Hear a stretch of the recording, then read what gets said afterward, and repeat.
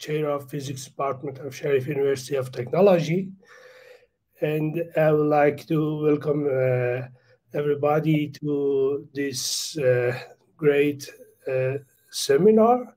Let's welcome to uh, Sharif University and PSI uh, public talks on frontiers of physics. It's my great pleasure to open the first session of public talk on frontiers of physics, which is a joint web, uh, webinar of Sharif University of Technology and Physics Society of Iran. It's planned to have a bi-monthly public talk by one of the uh, uh, leading experts in physics. And uh, I would say that uh, the physics department of Sharif University of Technology is very proud to host virtually frontiers in physics uh, in this series of webinars, which is a collaboration by my colleagues, Professor Arfaei, Professor Faraji, and Professor Torabian, and uh, also some people from Physics Society of Iran. With thanks to all of uh, their efforts, let us start the first session. The chair of this session is Professor Wafa from Harvard University, who will introduce our distinguished speaker, Professor Edward Witt. Please start. Thank you.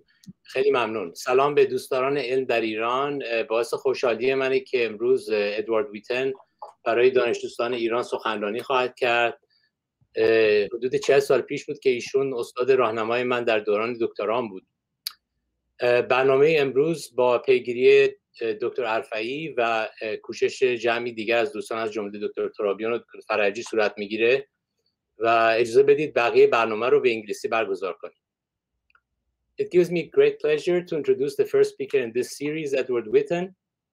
Edward Witten is well known to science lovers all around the world, including here in Iran, and so he really needs no introduction. And nevertheless, just for the sake of completeness, let me just say a few words about him and his work. Edward is one of the most prominent and perhaps the most prominent living theoretical physicists. His work has not only significantly impacted essentially all areas of theoretical physics, but has also significantly changed a large portion of pure mathematics. Many of his works on physics involve developing uh, diverse aspects of string theory, a theory which is believed to be the fundamental theory of nature, unifying quantum theory with all known forces. He has single handedly revolutionized the application of theoretical physics to mathematics by developing the notion of topological field theory, which continues to play a key role in many developments in modern mathematics today. He is the only physicist to have been recognized with the highest honor in mathematics, which is the Fields Medal among one of his mathematical works is a conjecture he made about surfaces, known as Witten conjecture, which was later proven by mathematicians. In fact, one of the most important works of the late Maryam Mirzakhani, which was a key to her receiving the Fields Medal, was to provide the proof of Witten's conjecture. I do not wish to take more of your time to tell you about his other works and recognitions. In fact, going over all his recognitions would take longer than his talk today. Instead, let me just say that there are almost no significant recognitions in the field of physics or mathematical physics that one can think of that he has not already received. Without taking more of your time, let me end my introduction and let us all listen to Edward Witten's talk on observations of black holes. Thank you. Uh, thanks very much, Cumrun, and thanks for this invitation to speak to the audience in Iran, which I greatly appreciate. Although I'd like to say that I hope to visit uh, in person at some point, hopefully in the not too distant future when things change. So uh, today I'm going to be talking about, um, uh, well, the topic is light rays and black holes, but really I'm going to be talking about black holes in general relativity. So general relativity is Einstein's theory of, of gravity. It's his greatest achievement. It was completed in November 1915. This was during the First World War. Einstein was living in Berlin he never supported the war, and he was horrified at the attitude of many of his colleagues who forgot all their prior beliefs and uh, on both sides of the conflict supported it.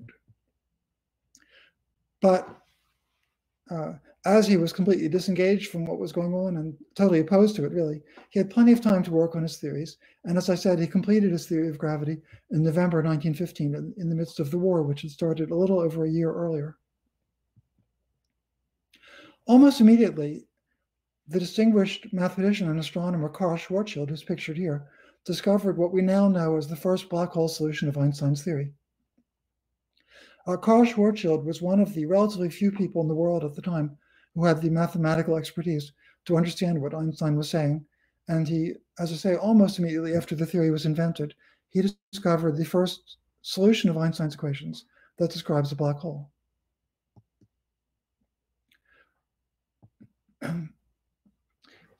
uh, Schwarzschild was 41 years old when the war broke out.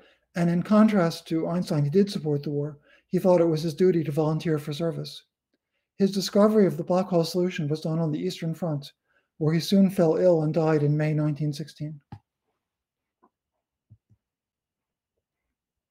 Now, Schwarzschild was not thinking about anything crazy like a black hole, and after even after he found the solution, neither he nor anyone else for a long time understood what it really represented. He was just trying to understand in Einstein's theory the gravitational field of an ordinary body like the sun.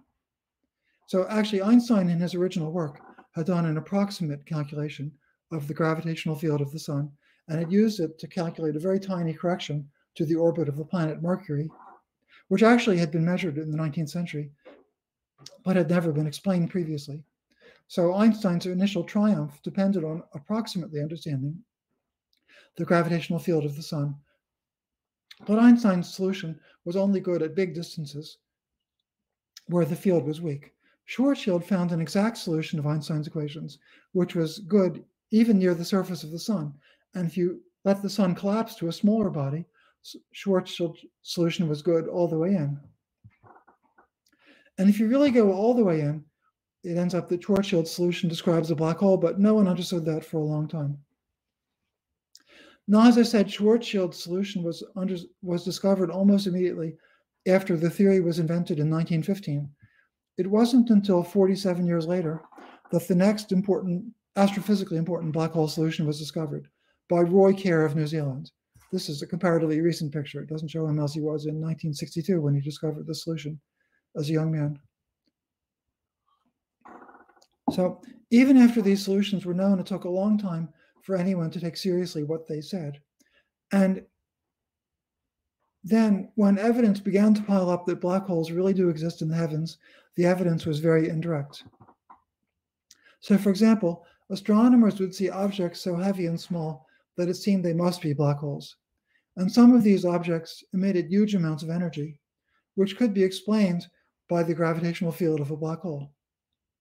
But it seemed for many, for, for decades really, as the evidence for black holes piled up, it was extremely indirect and it, really direct proof of black holes seemed to be well out of reach.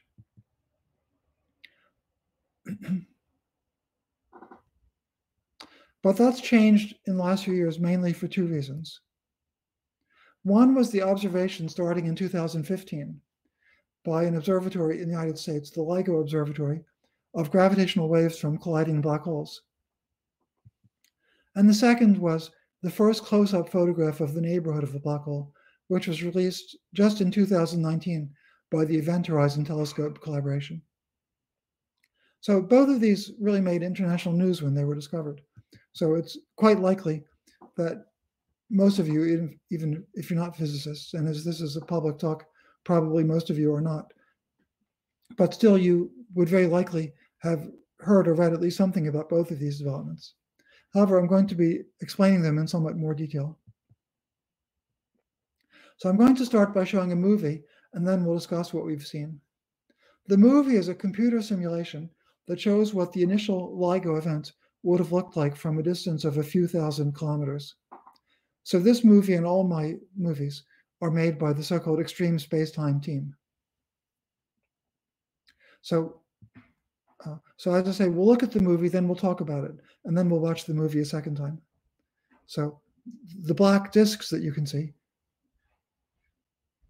are the uh, two black holes orbiting each other. And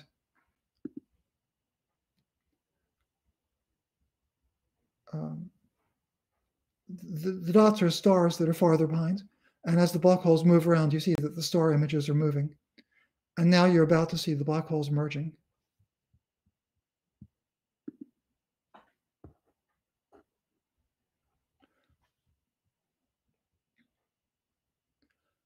Uh, by the way, can you see my cursor now? Uh, I think. No. I can't see. I think I remember I have to set that up. Okay. Now you can see my cursor, I think. Correct. Okay.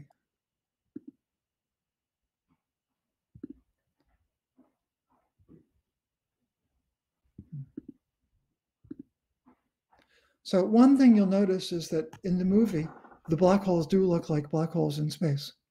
So even without seeing it as a movie, just in this still shot that you're seeing at the moment, I think you see black holes where you don't see any star images. Now we're looking at stars that are more distant than the black hole. In the movie, we are a few thousand kilometers from the black hole and the star, the two black holes. The stars are much more distant. And the black holes look like black holes in space because they block light coming from behind. Here's your eye schematically. Here's a star, although in the movie the stars are much more distant than I'm drawing. And a ray that would come to us straight from the star is blocked by the black hole, which is why it looks like a black hole in space. That doesn't mean we can't see a star that's behind the black hole. We see it because of the way light is bent by the gravitational field of the black hole. So here I've depicted a ray that's bent around the black hole and reaches the eye over here. Now, you'll see the star, but you won't perceive it as being where it, quote, really is, unquote.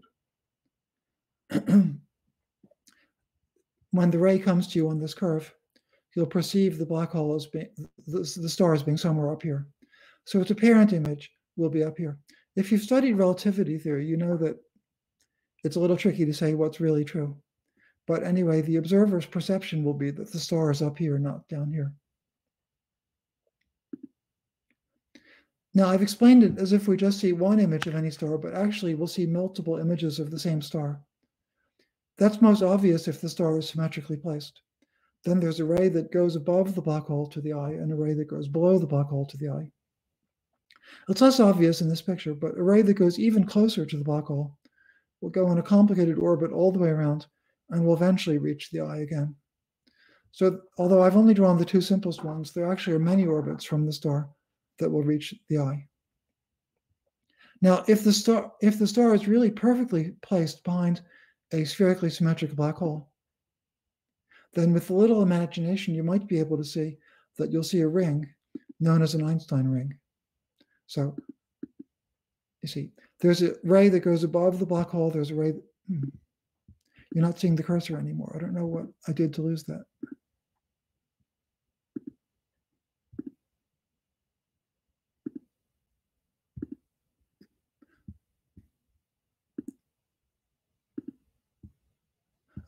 There's a ray that goes above the black hole. There's a ray that goes below the black hole. But in a symmetrical situation, the ray that comes above the picture and also a ray that goes into the picture behind the black hole. And in a perfectly symmetrical situation, the ray could go around the black hole in any direction and still reach the eye. And so you'd see a perfect ring centered on the position of the black hole. So with a little imagination, you might see that if a star is perfectly symmetrically placed behind the black hole, you'll see a ring known as an Einstein ring. So Einstein described this in a paper in 1935, but he thought he was just imagining, uh, well, he, he thought it was a theoretical game that would never be tested because he didn't know that black holes really existed. For the objects he knew that existed in, this, in the sky, the Einstein ring would be so tiny that he thought it was unrealistic to observe it. But nowadays we do have pictures of Einstein rings, as I'll show you in a second.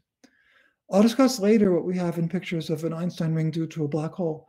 But actually, what may be our best Einstein ring is an Einstein ring caused by a galaxy bending the light rather than a black hole.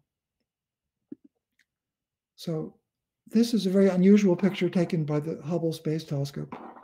In the center, this yellowish, roundish object is a galaxy that's quite distant, but not nearly as distant as a blue galaxy behind it. This blue galaxy behind it, it's blue because it's brighter, uh, sorry, hotter. The blue galaxy behind it has been, uh, well, intrinsically, it would look like one of these objects, more or less point like, but it's been, its image has been bent into a nearly perfect Einstein ring by the yellowish white galaxy that's closer to us. So this is a picture that shows a nearly perfect Einstein ring, actually. A little bit is missing on the top. Now that was a very atypical picture from the Hubble Space Telescope. Nobody had lined up these two galaxies, one behind the other, to make a perfect or almost perfect Einstein ring. It was just a lucky coincidence. This is a more typical Hubble Deep Field photo. So in the foreground, the relatively large galaxies are a cluster of galaxies in the foreground. If you look closely in the picture, you'll see many arcs. Here's a orangish red arc. Here's a small arc. Here's another arc. The arcs are pieces of Einstein rings where we're seeing um, a much more distant galaxy, the light from which has been bent into a partial Einstein ring. It's a partial Einstein ring because the, well, a variety of things. The distant galaxy is not perfectly centered, but also the foreground galaxy isn't perfectly symmetric. And there's, in fact, more than one foreground galaxy. So no one lined this picture up to make a perfect Einstein ring, but you see many partial Einstein rings. So this is actually what you see in the so-called Hubble deep field. If you take a very long exposure, deep field simply means a very long exposure to see the faintest and most distant objects that you can see. And in a fairly typical Hubble deep field picture like this one, you'll see many partial Einstein rings. Now, we're going to look at the movie one more time, but first let's discuss a few basic things. So first, the two black holes at the beginning are orbiting each other, a little like the Earth orbiting the Sun, except that the Earth is much lighter than the Sun. So the uh, so the Sun is almost at rest while the Earth orbits around it. Instead, here the two black holes have almost comparable masses, so they orbit each other symmetrically. I think in the movie they have, are taken to have exactly the same masses. Now, as the Sorry, it's hard to focus my hands on the camera. As the black holes orbit each other, they're emitting gravitational radiation, which is what was eventually detected on Earth by the LIGO detector. As they emit gravitational radiation, they lose energy and they fall in closer to each other. Eventually, they merge into a single black hole. Finally, since we don't see the black holes directly, what we're seeing in the movie are the stars behind the black hole and the star field behind them is greatly distorted by the bending of light by the black holes. So let's watch the movie again and see if we understand it a little bit more. So actually one black hole is a little bigger than the other. I think it's meant to be a simulation of the actual LIGO event where that was true. And as they move around, the star images are changing in a way that's rather complicated to describe. Near the end, where the black holes are emerging, well, you can see that there's an ellipse around the black holes where the images are particularly unstable. And near the end, that ellipse becomes a circle. You see there's a wobbling on this circle. That circle is the, actually a, an almost perfect Einstein ring due to a star that's almost perfectly placed behind the two black holes. So, well, as we watch it again, you'll see at the end, at the end, see, this is not, not actually symmetric. But when the two black holes merge, it becomes actually symmetric. And therefore, a star that was perfectly behind the final black holes would make a, pure Einstein ring. And the stars that are almost correctly placed are on this circle where the image was unstable at the end.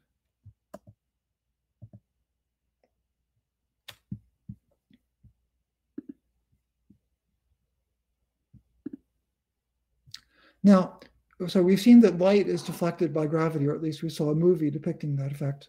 And also we saw Hubble Space uh, Space Telescope pictures illustrating it. But why is light deflected by gravity? Well, this was guessed by Einstein even before he had invented his theory, and in fact, others long before Einstein had guessed this. Einstein knew that a comet or planet is deflected by gravity, so he thought it would happen for light.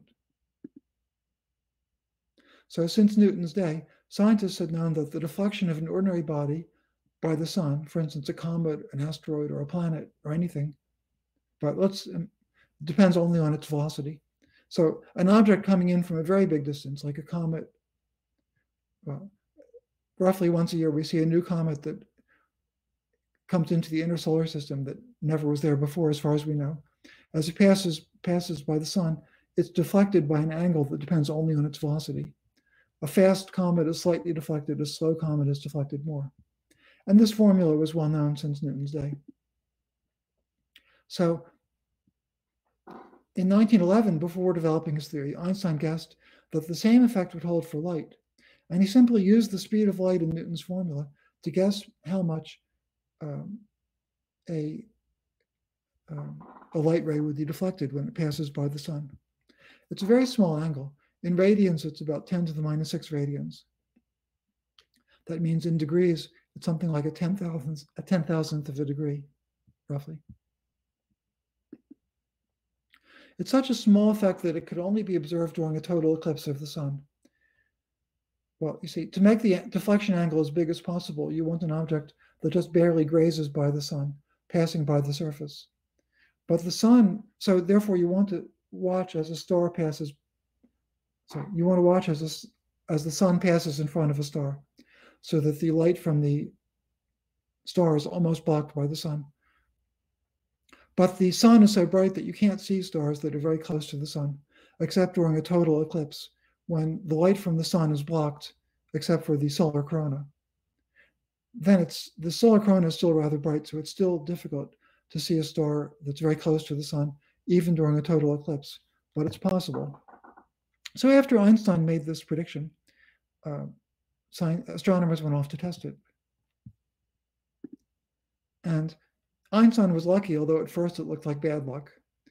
People tried to test his idea in 1912, but they were rained out. And then they tried to test the idea in Russia in 1914, but that was thwarted by the outbreak of World War I. In fact, the astronomers were almost arrested as spies, but they managed to convince the local police that their instruments were just uh, astronomical telescopes, not spy equipments. So, anyway, in 1912 and 1914, attempts to test Einstein's predictions failed. And then Einstein invented his theory. That happened in 1915, as I mentioned, during the war. And so the early attempts to test Einstein's prediction failed, and that was kind of lucky because the initial prediction was wrong. In 1915, Einstein finally developed his theory of gravity, and it became clear that the Newtonian formula he had suggested earlier was two times too small. Luckily, it had not been tested. So Einstein's prediction had not been disproved.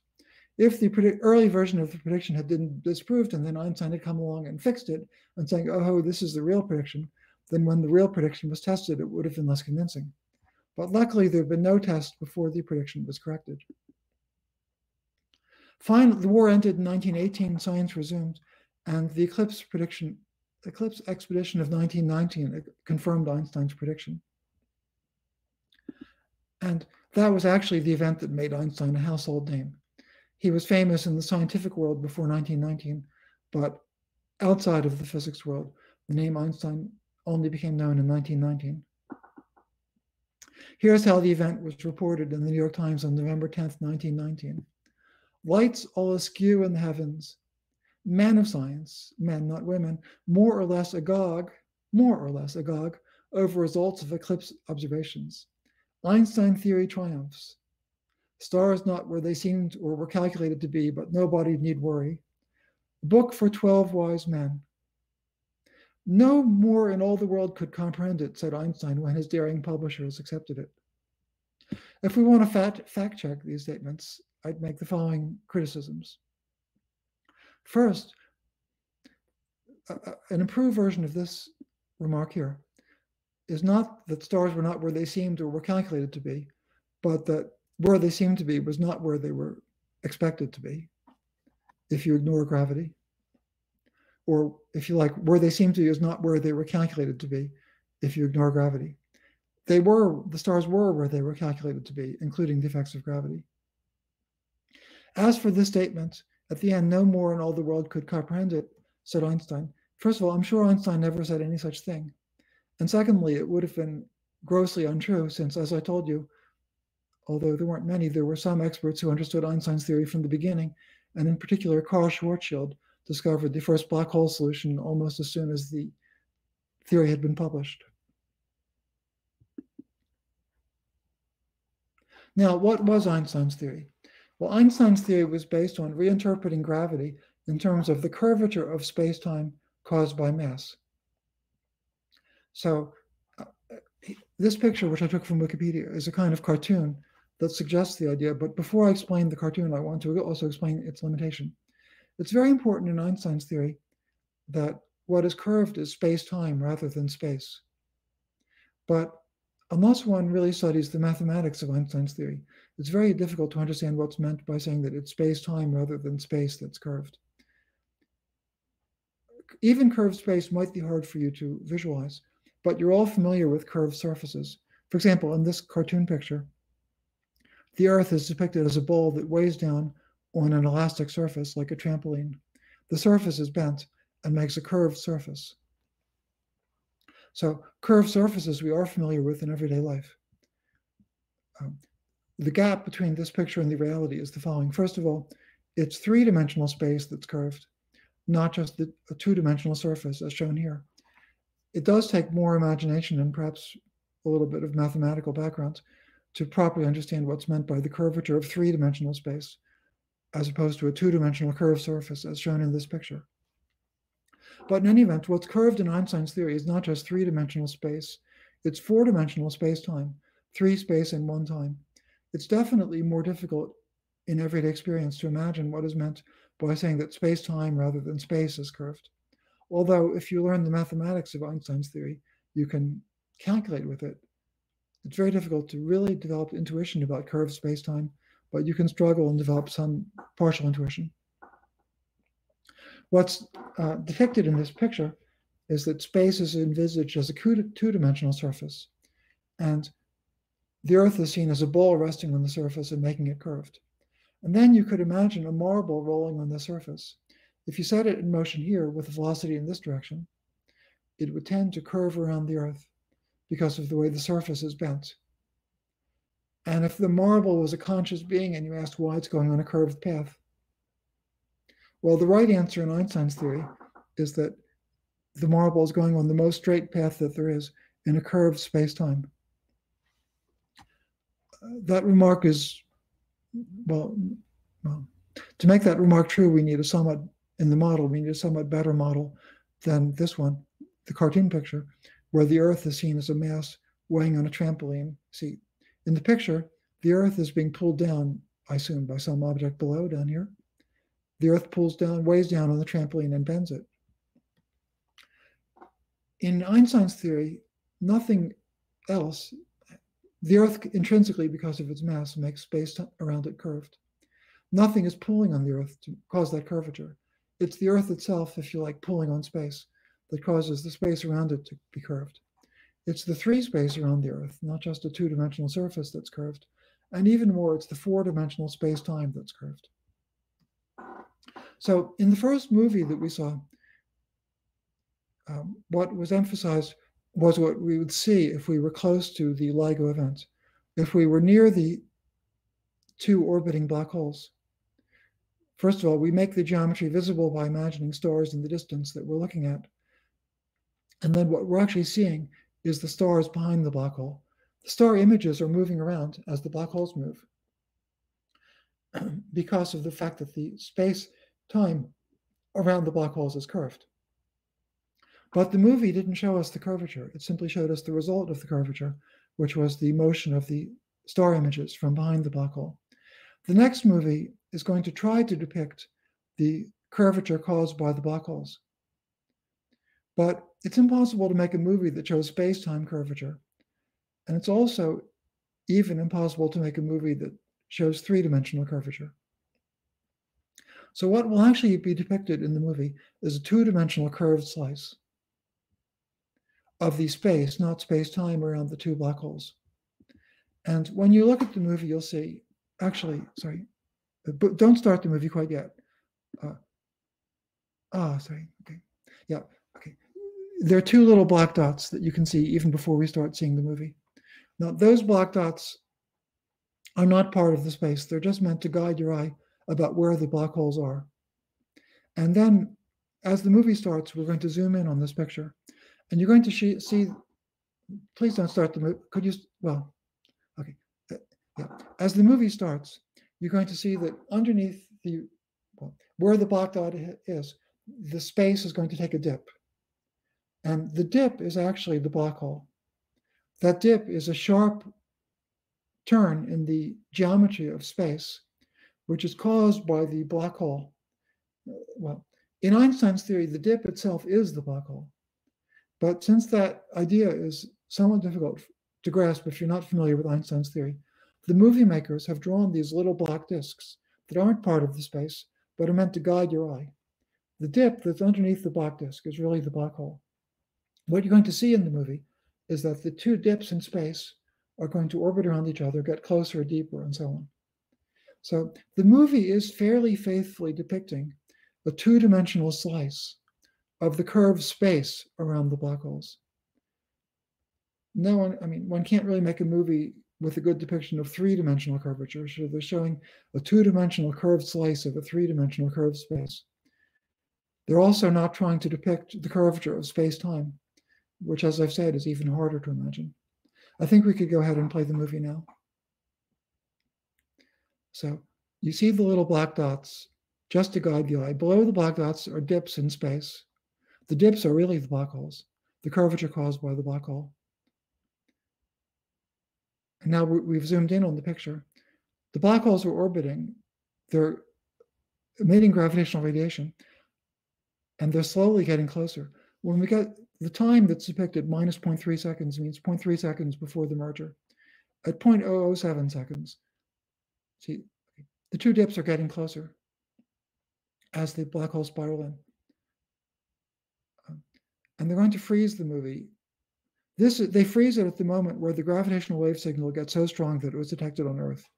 You see the two dips, the two black holes have almost merged. Okay. Okay. And now this is the last milliseconds.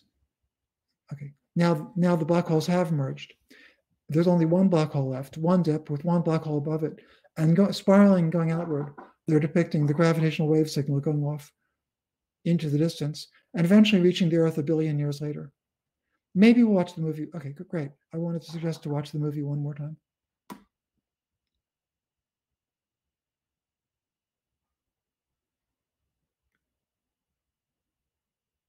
So, uh, as I've explained, it's the actual dips down here. Oh, you can't see, right? Okay. You don't see my cursor during the movies, but it's the actual dips below the black disks that are the black holes.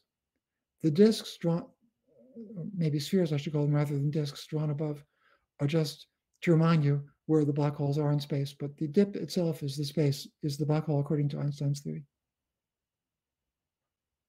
Now the black holes are merging into one. At minus 0.007 seconds, right now, the signal was detected on Earth. Uh, sorry. And now the black holes have merged and the waves go off to infinity.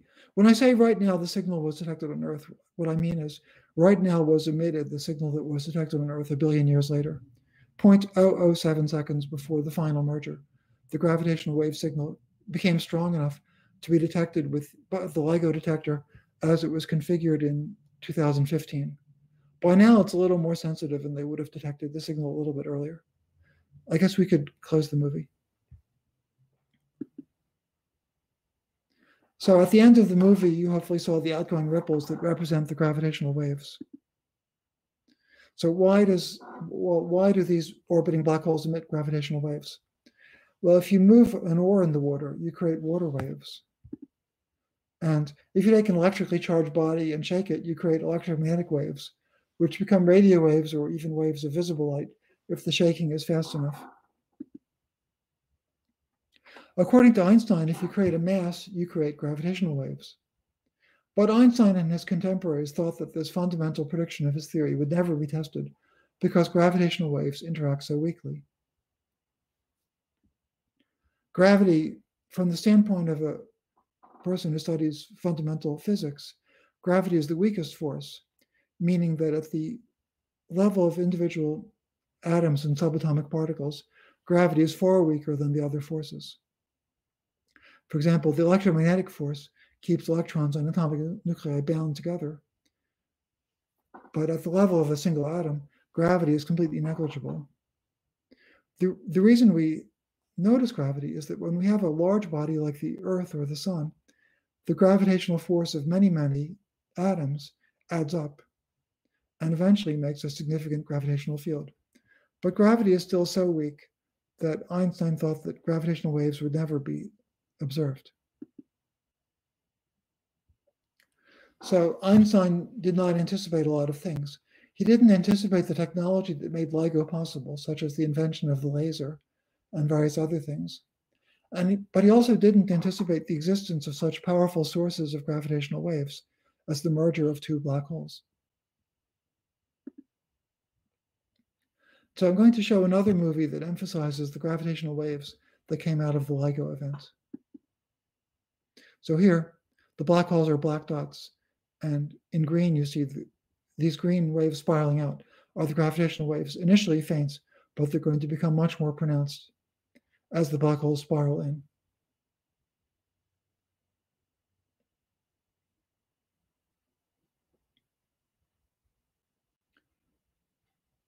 And so it's the last it's the last six or seven ripples. I'll show you some data in a moment, and you'll see that it's the last six or seven ripples that were actually detected in the LIGO detector. Okay, we'll watch it one more time. So, um, as you watch the movie, imagine, try to look with your eye the last six or seven ripples, because that's what was actually discovered or observed. So the ripples get stronger and stronger until the black holes merge. When the black holes merge, the emission stops. It all dies down quickly. So the last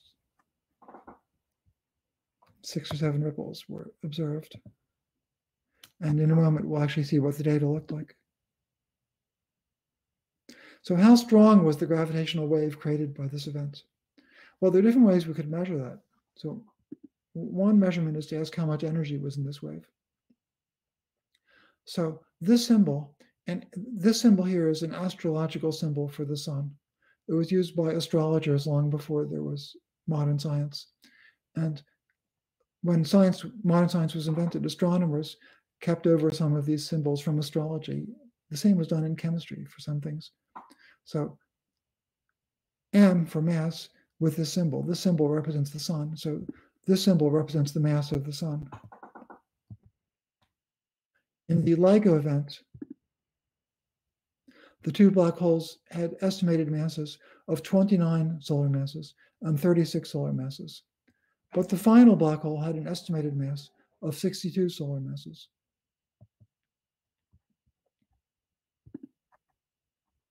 As you can see, a mass of three solar masses disappeared. What that actually means is that that amount of mass was converted into gravitational waves. The energy of the gravitational waves was 3 times mc squared, using Einstein's formula that energy is mc squared. So in ordinary terms, that's an enormous energy. Something like 10 to the 57 ergs or 10 to the 50 joules. So like the energy of a 100 watt light bulb running for 10 to the 48 seconds or 10 to the 31 years. So, uh, sorry, let's hold off for a second on this um, movie. So that's one measure of how strong the signal was, how much its energy was. Another measure would be um, how much was space curved. So, well, how would you measure that?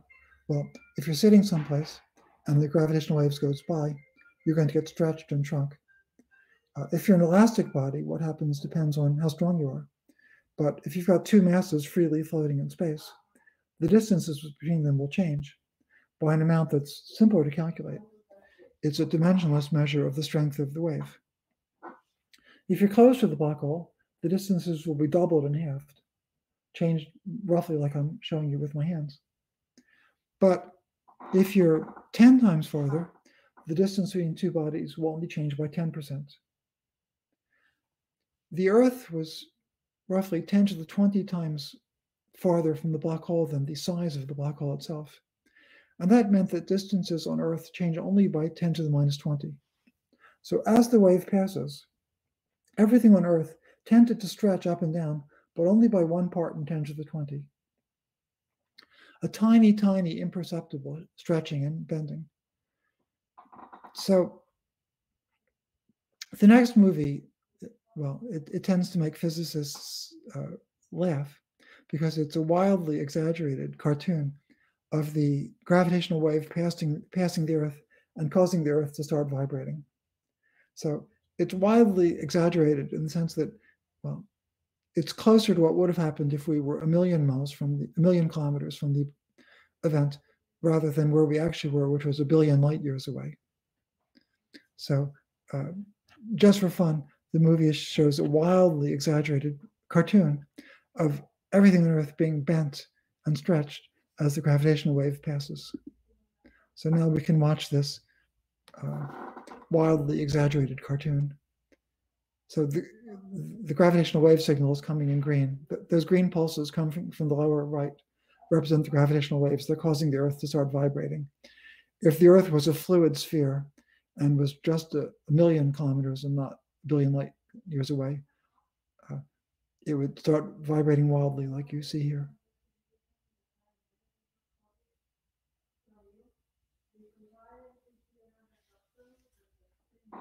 Okay.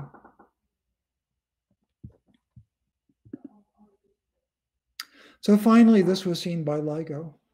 So what is LIGO and how does it work? Well, uh, this is an aerial picture of one of the two LIGO detectors. There's one in Washington State. This is that's this one. There's a second one which is identical in Louisiana, and there's a third very similar detector uh, in Italy, the Virgo detector, which started operating just a few months after this event was discovered. And an additional detector is being commissioned in Japan and a slightly longer term one in India. The one in Japan is, uh, I forget the word, it's it operates at very cold temperatures, which will increase the sensitivity. Anyway, having more detectors let you make a more accurate measurement of these events. But anyway, here's an aerial picture of one of the detectors. The way it works is the following. There's this is the main experimental hole. There's a mirror here and here. These arms are each a few kilometers long. These arms, I think, are vacuum tubes. There's a laser beam bouncing up and down in here. It's also bouncing up and down in here. The laser wave bounces up and down here or here and then using something that sort of called a half silvered mirror, the two beams are recombined and made to interfere using the jargon of physicists. If the two arms are exactly the same length, you arrange so that there's what's called negative interference and nothing reaches the detector. A gravitational wave causes a slight bending or stretching in one direction or the other, depending on which way the wave is oriented. When you slightly bend one arm relative to the other, you spoil the negative interference, and a light signal does get to the detector.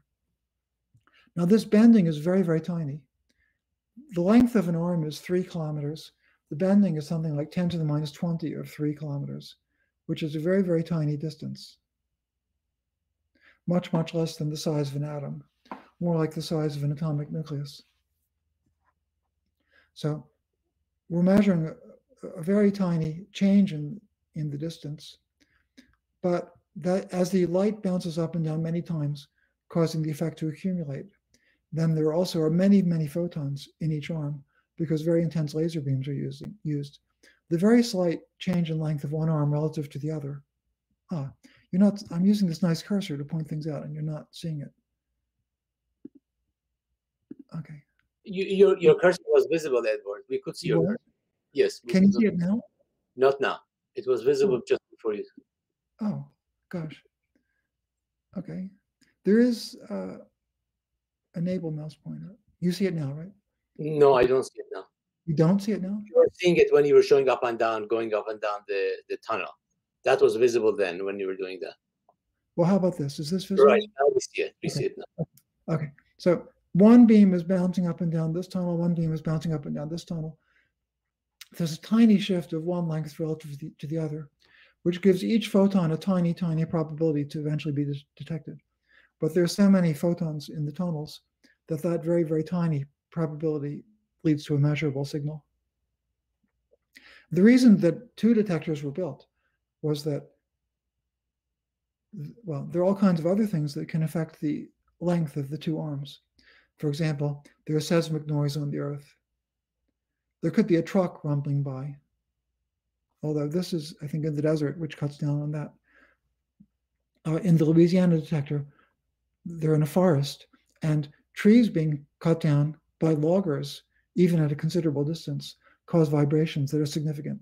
Anyway, there's all kinds of noise in both detectors, and to be sure that they had something, they wanted to see a simultaneous signal at two detectors thousands of kilometers apart. So finally, I'm showing real data. This is the data from the detector in Washington, and this picture shows data from both detectors. So just looking at the Washington detector, uh, well, 0.3 seconds before, so okay. the event, these waves here are the actual gravitational waves. Well, these six or seven oscillations are the signal of the event. Back here is actually before the gravitational wave event, and this shows you the typical noise level in the detector. Again, the typical noise level after. The six or seven oscillations that stand up as several times the typical noise level are the signal from the gravitational wave event. The, the second picture they show in blue, the signal from Livingston, Louisiana, superposed on the solution signal from Hanford, Washington, with only one correction. Because of the travel time, the gravitational wave travels at the speed of light, and it arrived in Livingston, Louisiana, a few milliseconds after Hanford, Washington. So they've displaced in time the Livingston signal to make it match up. Well, sorry, we, to make the two match up, they've displaced the time axis in Livingston relative to the Hanford signal. You can see that for six or seven oscillations, they match up very well. Back here, you are seeing the cursor now, aren't you, Cumrun? Yeah. Back here, they're not particularly, where they don't match up particularly, that's where we're mostly seeing noise, again, in the future. So this is the period where we're really seeing a gravitational wave signal. At the bottom, what? Come in. Oh, okay.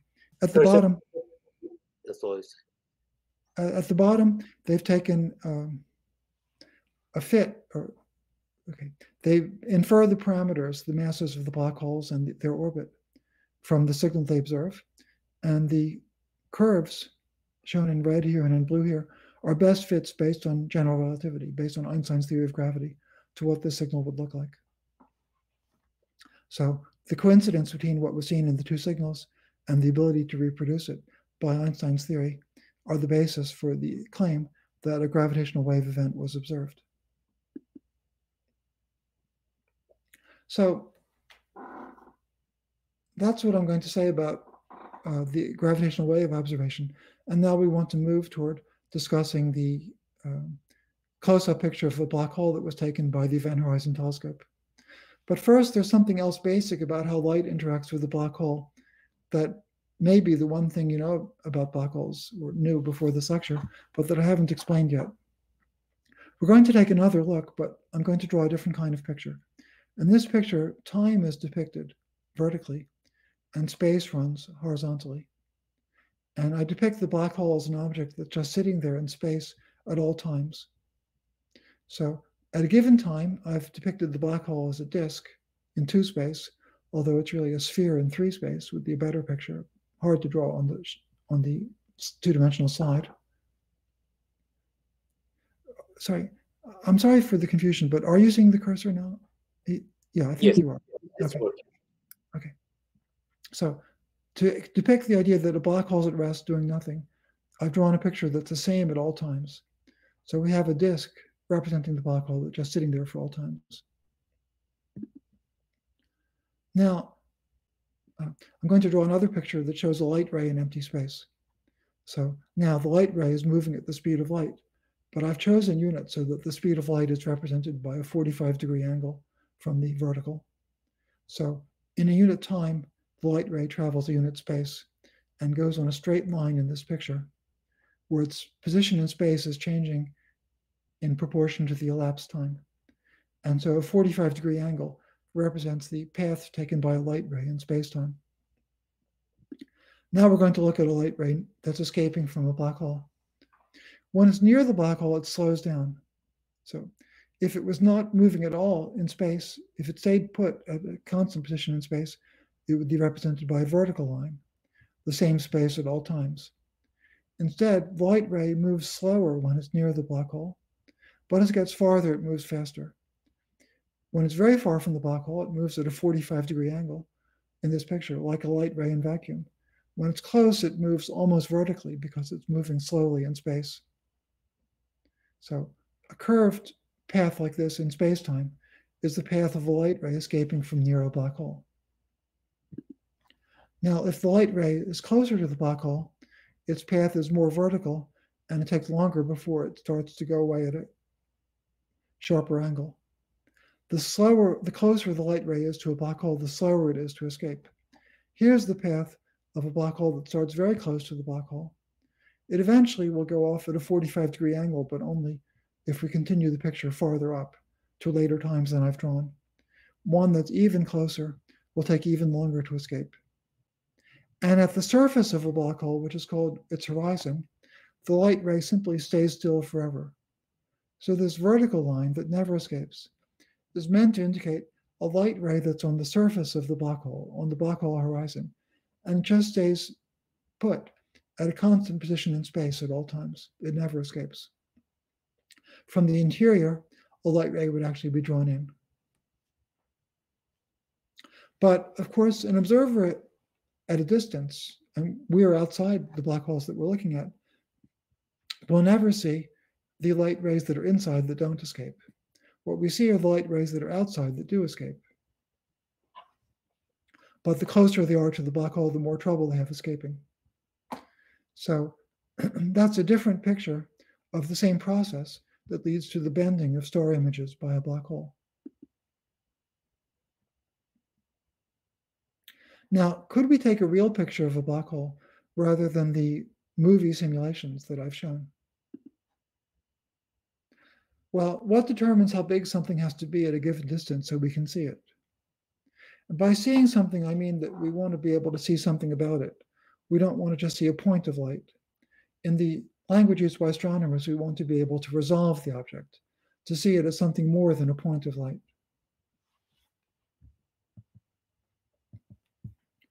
Well, if you try to look at something in a straightforward way, using a lens such as the lens of your eye, or the lens of a telescope, then the fundamental limit comes from the wavelength of light divided by the size of the lens. For instance, visible light has a wavelength of about 1 20,000th of a centimeter. Your eye has an aperture of about one third of a centimeter. When I say the aperture of your eye, I mean the aperture of your eye when your pupil is fully dilated. If you go outside to a very dark place, probably out in the countryside far from Tehran or far from Princeton, New Jersey, where I live. On a very dark night without a moon, a full moon will prevent this from happening. On a very dark light, full, full from far from all lights, your pupil after a few minutes will be fully dilated to an aperture of about a third of a centimeter. Under those conditions, taking the ratio, we learn that your eye has an angular resolution under optimal conditions of about an 80th of a degree. Anything with an angular size smaller than an 80th of a degree will look just like a point, even under ideal conditions. For example, the planet Jupiter at its closest to Earth has an angular size, as seen from Earth, of about an 80th of a degree. If we're just a little bit bigger or closer, you could begin to resolve it with the naked eye. As it is, you're just barely beginning to resolve it under ideal conditions. So because we can almost resolve Jupiter with the naked eye, we can resolve it with even very simple telescopes, such as the one used by Galileo. So a very simple telescope suffices to resolve Jupiter as a disk rather than a point. And um, the other bright planets, especially Mars, Saturn, and Venus, are, have almost equally large angular size as seen from Earth.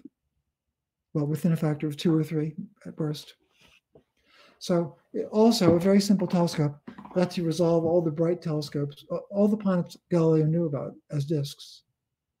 I think even Mercury, although it's harder for Mercury. Now, a very simple amateur telescope has a resolving power roughly 25 times better than the naked eye. So your eye is close to being able to resolve Jupiter. And a simple amateur telescope can resolve something whose angular size, well, 25 times Jupiter is a bit too small, but certainly 10 times smaller than Jupiter could be resolved by a simple amateur telescope. You might wonder how much better are the telescopes used by professionals? And the answer, I think, is slightly surprising. So the telescopes used by professionals are vastly better than a simple amateur telescope for seeing faint objects. But they're not as much better as you might think for resolving objects with a small angular size. That's because of the turbulence of the Earth's atmosphere, which places a limit that we didn't have to take into account for the simple amateur telescope, but it becomes important when you try to improve on the uh, turbulence on a simple amateur telescope. So before the Hubble Space Telescope was launched, the best professional telescopes could see objects vastly fainter than an amateur could see, but could not do very much better at resolving small angular sizes. The Hubble was launched to get away from the turbulence of the Earth's atmosphere, and with the telescope in space, the Hubble telescope has a resolving power roughly 250 times that of the naked eye, meaning an object whose angular size is 250 times less than that of Jupiter at its closest is roughly the limit of what the Hubble Space Telescope can resolve. Now, since the Hubble was launched, tricks were developed whereby even telescopes on Earth can rival the Hubble under favorable conditions by using what's called adaptive optics. It's a trick by which you compensate for the turbulence of the Earth's atmosphere. Anyway, let's go back to our question of um, trying to take a picture of a black hole. But before we discuss the black hole, suppose we want to take a picture of a star and directly measure its size. Or its apparent angular size as seen from Earth. To know its physical size, we also will need a way to measure its distance. But astronomers have such tricks. The star with the largest apparent size as seen from Earth is Betelgeuse with an angular size of 1 50, 50 millionth of a degree way too small even for the Hubble. Incidentally, Betelgeuse is not particularly close, but it's a star that's called a red supergiant. It's an enormous star, way beyond the size of the Sun. And so, even though it's not particularly close, it has the largest apparent size of any star seen from Earth. It's also one of the brightest stars in the sky. As a red supergiant, it's much brighter than the Sun. And so it's one of the brightest stars and also the largest as seen from Earth. But it's way too small even for the Hubble. So, uh, uh, well, Betelgeuse is a star that you've probably all seen, even from, I imagine, even from Tehran, you can see it. Um, it's the upper right shoulder of the constellation Orion, Orion the Hunter. Well, it's it's Orion's upper right shoulder. So as seen from as in your view of Orion, it's the upper left shoulder. Actually, I gave a version of this lecture in New Zealand, and I had to figure out what Beetle, what the constellation Orion looked like in the southern hemisphere, whether Betelgeuse was the lower left or lower right corner. But anyway, as seen in the northern hemisphere, it's the upper left corner of your picture of the constellation Orion, meaning it's the hunter's upper right shoulder. I didn't check, but I was curious what Betelgeuse is called in Farsi. I imagine it's an Arabic name. Lots of names used in English for bright stars come from Arabic. Eh, maybe at the end, someone will tell you, tell me the name of the star in Farsi. Perhaps I don't know. Maybe somebody will help. Now, so Betelgeuse, although it has the largest angular size from to be seen from Earth is too, is too small to be resolved even by the Hubble. It's too small to be resolved by a telescope, well, by a single telescope. But there is a trick, which is called interferometry. Using the wave nature of light, you can combine the signals collected by different telescopes and get a bigger resolving power than one telescope would have by itself. And then the resolving power in principle depends on the distance between the telescopes. So here's a picture of Betelgeuse. The picture was taken by the ALMA array in Chile. ALMA is an array of radio telescopes. I'll show you a picture of ALMA in a moment. But anyway, I wanted to show you what Betelgeuse looks like um, in this picture. So you can see some detail. This bump on the left is real, and this bright spot here is also real. Uh, it's not that well understood what we're seeing, but these things are real. So Betelgeuse was actually in the news in the last few years. I don't know if it was in the news in Iran, but for example, the New York Times had several articles on Betelgeuse. I think it was even on the front page once. The brightness of Betelgeuse fluctuated in a way that was so notable that if you, even with the naked eye, you could see it if you observed Betelgeuse over a few months. And it was quite a mystery what was going on. Its brightness dipped by a lot, but now Betelgeuse has more or less recovered. Anyway, here's a picture of the array, or at least part of the array. So these dishes are radio telescopes, and these two are probably of order 100 meters apart. But ALMA is an array of radio telescopes spread over seven meters, uh, sorry, several kilometers, I think close to seven kilometers. So we're only seeing a small part of the array here. With an array of tel radio telescopes uh, spread over seven kilometers, you can take this picture of Betelgeuse and there are some other tricks that you can use, but this is the one that's most directly relevant for our story about taking a picture of a black hole. So, as I said, Betelgeuse was in the news in the last few years. Now, before we go on, here's a question just for fun. So, stars have an angular size way below the resolving power of the human eye. So, why do bright stars look bigger than faint stars? First of all, I'm going to, I imagine you've all noticed this, but if you haven't, next time you're in a really dark place, maybe even in the city, but definitely if you're out in the countryside, if you look up at the sky, you'll certainly see that bright stars appear to be bigger than faint stars. But I've got bad news. It has nothing to do with the actual sizes or distances or apparent angular sizes of the stars. It's purely a question of the limitations of your eye. Um, what's happening is the following. An ideal point source, as seen by the eye, won't look like a point. The light will be spread over a little disk or a little ball uh, because of that fundamental limit I mentioned that involves the wavelength of light and the size of your eye's lens. The ball isn't a sharp ball, it's a smooth ball. It has a smooth boundary. And the apparent size of the star depends on how far into the tail of that distribution your eye can see. The brighter the source, Okay, if you have a fainter source, your eye will see, your lens of the eye produces an image spread over the same, spread out in the same way. But how far into the tail of that distribution your eye can see depends on how bright the star is. So for a brighter source, your eye sees farther into the tail of the distribution, and therefore the bright star looks bigger than a faint star. Jupiter is a borderline case because, as I said, uh, your eye is close to being able to resolve Jupiter. So under ideal conditions, the apparent angular size of Jupiter is a mixture of an effect due to its actual size and the limitations of your eye.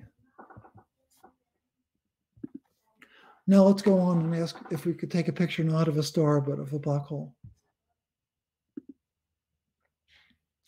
Well, the largest known black holes as seen from Earth are two. One is at the center of the Milky Way, and the other is at the center of a distant galaxy known as M87. M87 is about a thousand times as far as the center of the Milky Way. But as a rough cosmic coincidence, the black hole at the center of M87 is about a thousand times the mass of the black hole at the center of the Milky Way. So it also is about a thousand times the true size. Since it's a thousand times farther and also a thousand times bigger, its apparent size, as seen from Earth, is about the same as the black hole at the center of the Milky Way. The Milky Way has a black hole with a mass of a few million solar masses. M87 has a mass black hole with a mass of a few billion solar masses. It turns out, for a reason I'll explain later, it's easier to picture M87 than the Milky Way. So the, the picture we have as of now of a close-up of a black hole is for the black hole in M87, not the one in the Milky Way. Now, the name 87 is probably not familiar unless you're an amateur astronomer, but it's actually one of the easiest galaxies to observe from Earth. And here's a, well, a modern picture of M87. So M87 what's called an elliptical galaxy, so it's basically round. It doesn't have those nice spiral arms that you see in some galaxies, but it's got a jet coming out from it. And this thing shown in blue is the jet. I'm not sure what's been done so that the jet looks blue in this picture. The jet, this little white dot is a kind of knot where that jet is particularly intense. But anyway, you can see this thing coming out of M87, which nowadays is called a jet. The jet from M87 was actually first imaged very nearly a century ago, just in the early days of general relativity, long before anybody took black holes seriously. So nobody knew what it was, but M87 had been seen as a fuzzy ball. And then by approximately a century ago, someone managed to take a picture of M87 that was good, a good enough picture that you could see this jet coming out. So in modern terms, the jet is interpreted. In modern terms, the understanding of M87 is that inside M87 is a spinning black hole there's matter swirling around the spinning black hole at the center of M87. The matter gets heated up, and as it falls in and spirals in, it heats up. And the process is actually rather complicated, not well understood. But as the gas heats up, some of it squirts out, and it preferentially squirts out along the spin axis of the black hole because roughly speaking, because the magnetic field that tends to keep the gas from escaping is weaker there. So preferentially from the very hot region around the black hole, energy and matter squirts out along this axis. It also squirts out in the op opposite direction, but we see that much less as seen from Earth. And Earth, we from Earth in this picture, we only see the part of the jet that's coming roughly in our direction. It's not coming exactly in our direction. The jet is going off at an angle if it were coming exactly in our direction, the jet would look more like a spot rather than the ray that you see in the picture. Now, the black hole has an angular size as seen from Earth about a thousand times less than Betelgeuse. So to take a picture of it needs an array of telescopes with about 1,000 times the size of ALMA. Now, ALMA has a size of about seven kilometers, so we need an array of telescopes with the size of roughly 7,000 kilometers in other words, comparable to the size of the Earth. And that's, so you see, we need an array of telescopes working together with the size of the Earth. So such an array has actually been constructed. It's called the Event Horizon Telescope. It's a consortium of telescopes all around the Earth with sites in places like, gosh, I hope I've got them written in a moment, but some of them include Chile, Hawaii, the Canary Islands, Arizona, and a couple more that I think I've got written in a moment. So they all collect their signals, and electronically, you want to combine those signals. And in the jargon, you want to interfere them. You want to add the signals and see an, an oscillation effect that has to do with the very fine details of the image and let you resolve things that a single telescope couldn't uh, image. It's actually, these telescopes are collecting so much data that it's actually completely impractical to combine them in real time. So the data is actually stored in hard drives, thousands of hard drives, which are then physically brought together and recombined by computer long after the data is taken. The first, the first and still only picture of the black hole in M87 was published in 2019, and it's the only real picture we have of a black hole or more precisely its environment. So this is the picture. I expect most of you have seen it because it well, at least in the US, it was in all the newspapers when it was published in the spring of 1987. It's our first picture of the close environment of a black hole. Very roughly, this black dip is the black hole, and the ring around it is the Einstein ring. What we're seeing roughly, well, roughly what we're seeing is the hot gas of matter uh, around surrounding the black hole. But because of the way gravity works, the light from behind the black hole tends to be focused toward us, while the light from in front of the black hole tends to be defocused. So we're seeing an approximate Einstein ring from the hot gas behind the black hole. Uh, the picture fits well, at least at a rough level, the predictions from general relativity. So the size of the ring and the size of the dip in the middle are a good match for what was expected from a black hole with the size and mass of the M87 black hole that had been inferred from other measurements. However, the details of the picture are not that well understood. So an obvious thing in the picture is that the ring is much brighter on one side than on the other. So it's believed that that has to do with a combination uh, of the rotation of the black hole and the distribution of matter around the black hole, but we don't understand in detail what the picture is showing. To understand it in more detail, we need a better picture. So you could ask, okay, this picture was based on telescopes in Chile, Arizona, Hawaii, Europe, and the South Pole. Yes, the South Pole was the important site I was forgetting. I, I mentioned the Canary Islands, which is at least one of the European sites. So the South Pole is important because it's far away from the others. And to do well with interferometry, you want the telescopes as far away from each other as you can get them. And it's better to have a variety of telescopes in different places. You can improve on it with more telescopes, and there's a planned upgrade with the new telescope in Greenland. And you can also uh, do a little better by using radio waves of somewhat shorter wavelength. That's it's technically harder to do this at shorter wavelengths, but it's possible to go to somewhat shorter wavelengths. And that will make a somewhat sh sharper picture. So in the next few years, we can expect a picture, I think, maybe twice as sharp as this one. And as the uh, as the matter around the black hole orbits around it, a picture taken later will look different.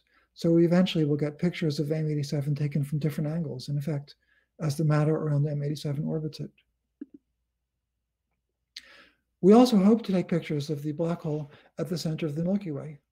Even though it has the same apparent size as the black hole in M87, because it's smaller, um, the matter orbiting it is orbiting much faster. And the what you see in a picture of the black hole at the center of the Milky Way is expected to change from hour to hour, rather than from, or maybe even faster than hour to hour. Sorry, I'm slightly forgetful at the moment. But the picture at the center of the of the black hole at the center of the Milky Way changes so fast that it's actually harder to do this. So they don't yet have a picture of the black hole at the center of the Milky Way, but um, we hope to have such a picture before long. So we can do somewhat better with the new telescope in Greenland and by using radio waves of somewhat shorter wavelength. For a big improvement, we can go to space. If you added to the Event Horizon Telescope um, a telescope in space, for example, a telescope on the far side of the moon, or simply a telescope in Earth orbit at a considerable distance, you could get a much sharper picture and possibly a much more precise test of the predictions of general relativity. This picture tests in a complicated way Einstein's theory plus the details of the matter near the black hole. So a sharper picture would let us, well, learn more about Einstein's theory, but also learn more about what there is near the black hole. If you want a pure test of Einstein's theory, not affected by the details of matter around the black hole, it's been shown that, for example, with a telescope on the far side of the moon, working together with the ones we have on Earth, you'd be able to image some fine details of the picture, which don't depend on the details of the matter and only depend on Einstein's theory. So in principle, you can do much better in testing Einstein's theory with the telescope in space. So I'm going to end this talk with one more movie. And this movie will be a simulation of what we would see when a black hole passes through a galaxy if we could live for hundreds of thousands of years to watch the event. So this is going to see a galaxy is tens of thousands of light years across. The black hole is moving with only a mildly relativistic velocity in the movie, a couple tenths of the speed of light. So the movie unfolds over a duration of hundreds of thousands of years. So if you could see a black hole passing through, through a galaxy, live for hundreds of thousands of years, what happened? This is what you'd see. Before we watch the movie, let's talk about what we see at the beginning before it starts. Here's the galaxy. Here's the black hole. The black hole is black, but you're seeing a ring around it. The ring is actually the light from the galaxy. So a light ray from the galaxy could pass by the black hole on the far side. If it passes near the black hole, it can be bent toward you. So you actually see a ring that's brighter on the on the side distant from the black hole than on the near side, because although a light ray could be deflected toward you from either side of the black hole, it's actually the light is amplified if it goes around the black hole on the far side before being bent toward you. So this is what we see when the black hole is some distance from the black hole. As the, the black hole in the movie is going to pass toward the galaxy, it'll distort the image of the galaxy. And as the black hole approaches, the light from the near side of the galaxy will become brighter. So anyway, now we can watch the movie.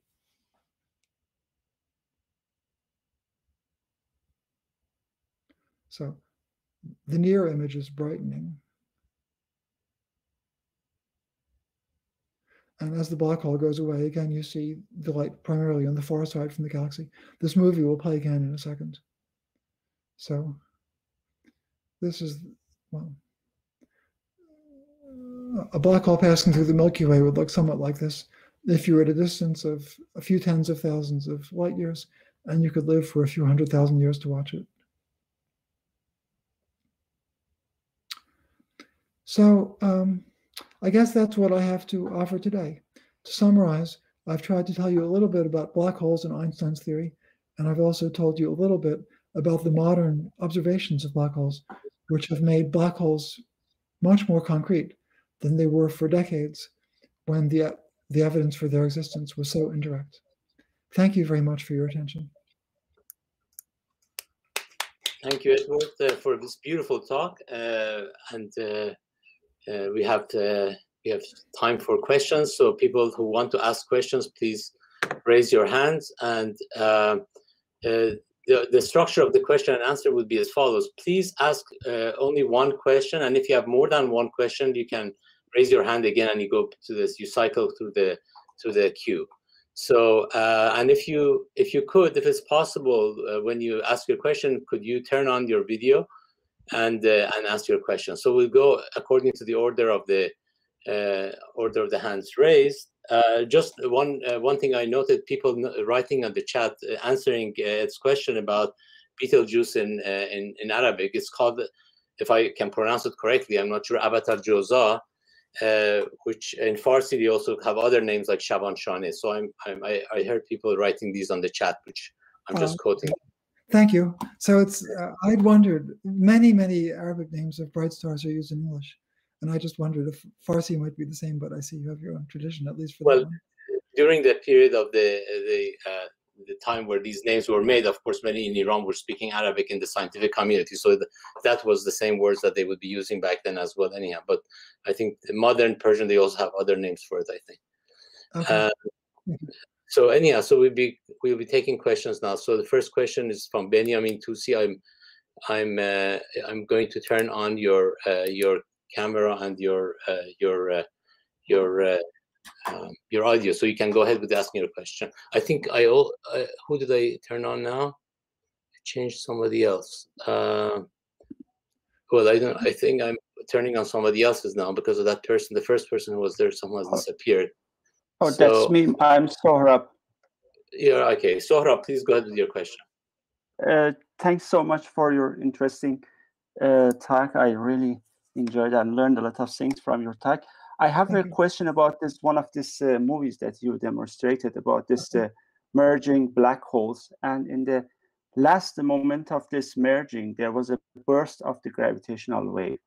and uh, that triggered the questions to me that uh, I wonder if the strong uh, time variation of the metric just at the at the last moment of merging can uh, excite the, the other uh, fields in the in the standard model and can produce the particles at that moment.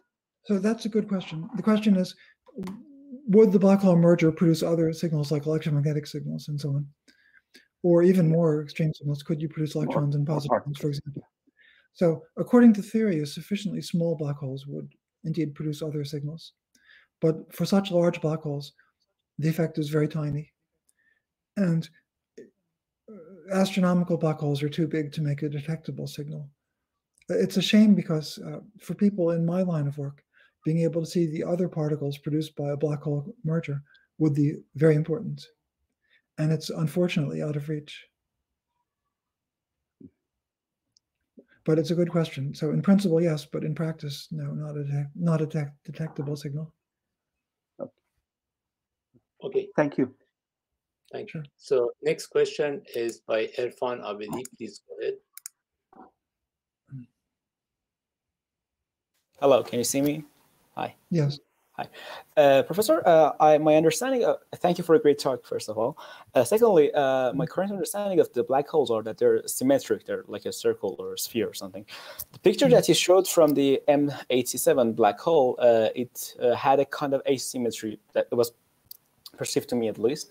So, you know, mm-hmm. the way I saw it, you know, it was like distorted in some way. So is this, is that because of the matter surrounding it or, you know, the matter behind it that the Einstein ring, or is it uh, or is it something else to it that just distort distorts our view? Well, as I said, that's another good question. As I said, um, we we don't really know the answer. To really understand what's happening, uh, we need sharper pictures. But let me make a few comments.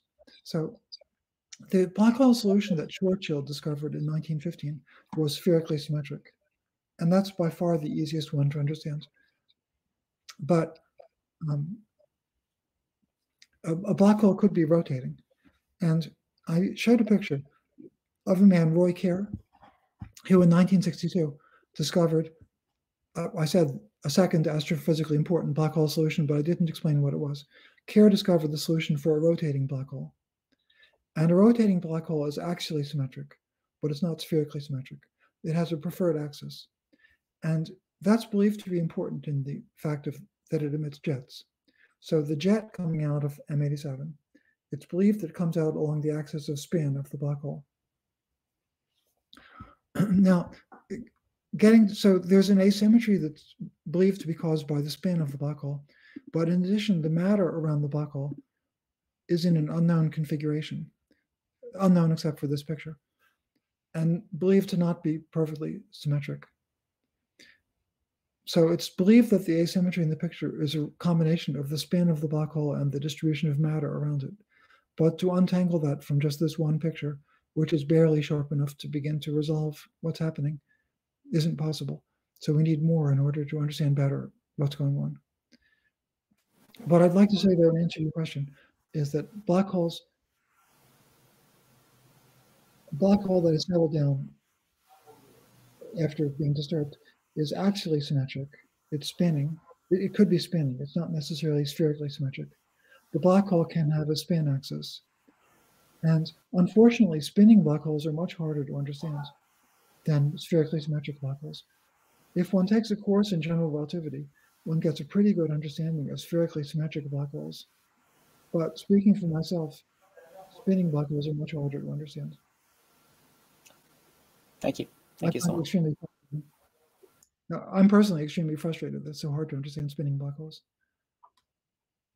Thank you. Um, sure. So the next question is by Benjamin Tusi. I'm going to turn on your audio and, and the video. Please go ahead, Benjamin. Hello, Mr. Witten. Uh, thanks for your interesting uh, speeches. I want you said that uh, the gravity is the weakest uh, force in the fundamental forces. I want to know that why is the reason of that?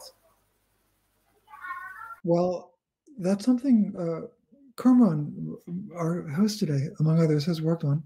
So there might be glimmerings of a fundamental explanation in the fact that it appears to be true in string theory and so on. but that's a bit of a mystery. Um, the answer every physicist would accept is that it's an experimental fact. So, as far as experiment goes, gravity is much weaker than the other forces. I want to say though that that's a little bit circular because gravity is so weak that the only reason we know about it is that it's additive. All particles have positive mass, or at least positive energy, and everything with mass makes a contribution to gravity of the same sign. So if you have many, many particles together, like in the Earth or the Sun, the gravity adds up. And although we can't observe the gravity of a single atom or particle, we can observe the gravity of the Earth or the Sun. If you had a force as weak as gravity, but it tended to cancel between the different particles, we would actually not know about that force. So electromagnetism can cancel. There are positive charges and negative charges, and their effects tend to cancel. So the gravitational force of the Earth, due to the Earth is bigger than the electrical force due to the Earth because of an almost perfect cancellation of electricity between all the positive and negative charges in the Earth, while the masses add gravitationally.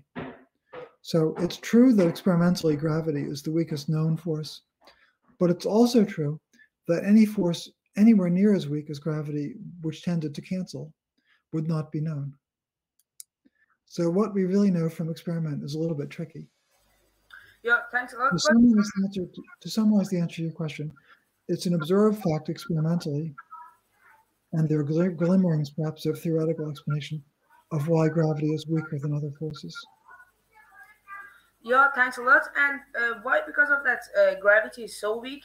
How can the gravity of black holes make a change in the uh, change on the lights, and uh, uh, and taking into the black holes? Well, black holes are very little compared to their mass. So gravity, at the level of an okay, take an atom. Now. or oh, take the Earth, let's say, the gravitational field of the Earth is never much stronger, nowhere much stronger than it is at the surface. You could go inside the Earth, but gravity of the Earth wouldn't get much stronger when you go inside, because if you tunnel down, the matter above you would tend to pull you up. The matter below you tends to pull you down. But the pull would not be much stronger than it is at the surface because you no longer have this adding of all the effects. Some matter would be pulling up, some down. So if you wanted to make the gravitational field of the Earth stronger, you'd have to shrink the Earth.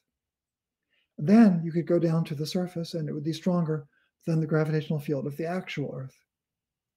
The more you would shrink the Earth, keeping its mass fixed, the stronger would be the gravitational field at its surface.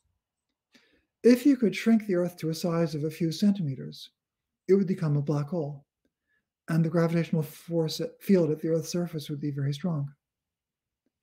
Einstein knew this, but the idea of shrinking an object with the size of the Earth to, uh, sorry, the idea of shrinking an object with the mass of the Earth to a size of a few centimeters sounded so silly that Einstein considered it science fiction and did not take black holes seriously.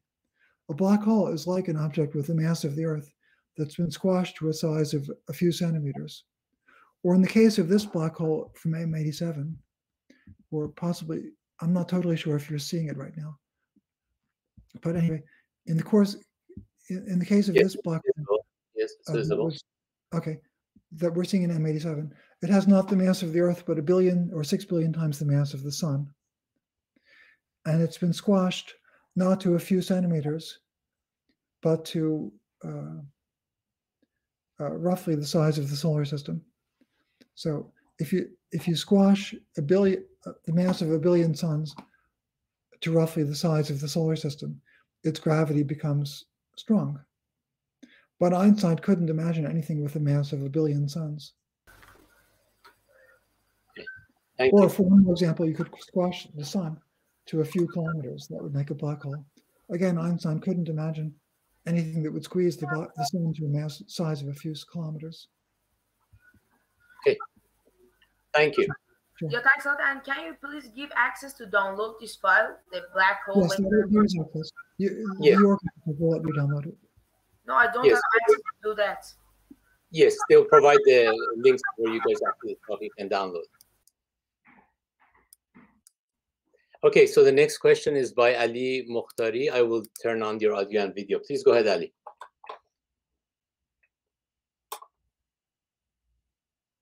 Ali Mukhtari, your, your, your, the next question. Please go ahead. Uh, can you hear me? Yes. Yes. We can hear Hello. you. Okay. Hello, thank you so much for your talk, Professor Witten. So my question uh, might not be directly related to this talk, but it's uh, I, I was always I always wanted to ask this question from you, and now I got this opportunity to ask. So my question is about the uh, what's your opinion about the fundamental nature of the space and space time and gravity? Because there are two points of view in string theory and AdS-CFT. One point one view is that uh, gravity is a fundamental force with a string of a spin two, and the other one comes from Van Raamsdonk model or a Verlinde model that gravity might emerges from the decrement of the entanglement entropy either in the CFT in a boundary or the space-time constituents in a Verlinde model. So which uh, point, which view do you think more promising and why not the other? Well, the second view is an attempt at a deeper explanation of what the first gives. So uh, I think that, for example, I think the Van Raamsdonk model, for example, is very interesting but it's a tentative model. It's meant to be not just not so much an explanation of anything as an inspiration for what an explanation might be. So Van Raamsdonk model is fascinating, but it's work in progress. Uh, I think there's a deeper reality we don't understand, and I'd say the Van Raamsdonk model and similar things are one of the more interesting attempts we have to get at what that deeper picture might be. Hard to say more now. Thank you. Sure. Thank you. So next question is by uh, Aida Rasulian. I have turned on uh, your uh, your audio and video, Aida. Please go ahead. Uh, sorry. Hello. Can, Hi. Uh, hello. Uh, thank you for interesting talk. And uh, so some people think black holes, uh, real black holes, can't actually form because from the point of view of an asymptotic observer, the process of collapse takes an infinite amount of time, at least classically and some argue that quantum mechanically the situation is different. I just wanted to ask your viewpoint on this. well, um,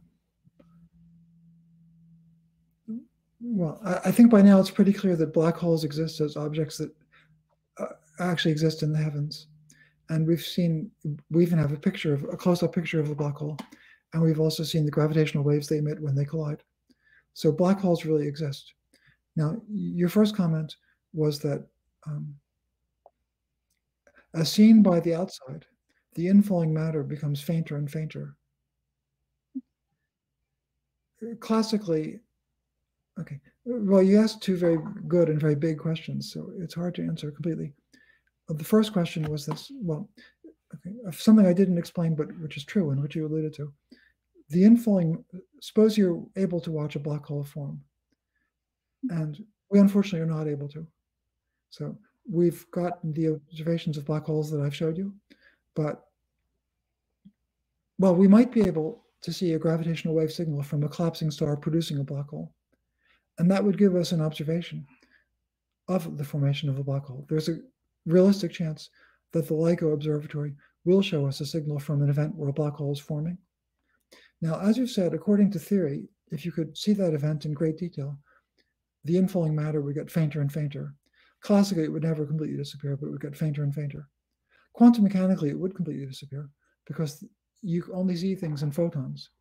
And there would be a last photon that would come out from the inflowing matter. So classically, the inflowing matter would completely disappear after a certain time.